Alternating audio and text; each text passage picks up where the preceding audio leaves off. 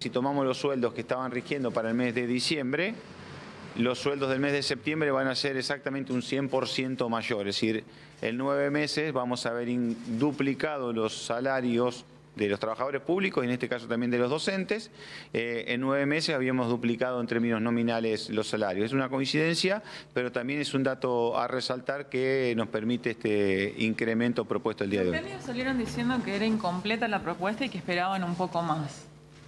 Bueno, eh, las expectativas siempre eh, como siempre, las expectativas de las partes en una mesa de negociación, lo importante es que todos se vayan medianamente satisfechos. A veces en una mesa de negociación, eh, que una parte diga, eh, me voy totalmente satisfecho porque todo lo que solicité fue contemplado y me fue otorgado, en realidad en, todo espacio de negociación lo natural es que justamente de eso se trata la negociación.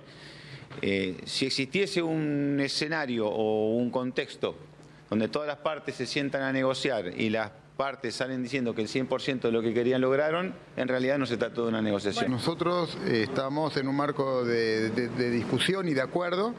Eh, lo que hicimos es lo mismo que venimos haciendo desde enero, que es garantizando la actualización todos los meses del salario de los docentes, porque creemos que es algo que corresponde. Seguimos manteniendo el mismo criterio, que son la razonabilidad este, y la responsabilidad en cuanto a lo que ofrecemos. Quisiéramos ofrecer más, seguramente, siempre uno quiere ofrecer más, este, pero como muy bien lo dijo el ministro Olivares, cuando hay una negociación lo que se busca es un punto de encuentro. Y yo creo que acá firmamos un acta, ese acta es un posible punto de encuentro y bueno, veremos cuál es la resolución final este, de, este, de los docentes.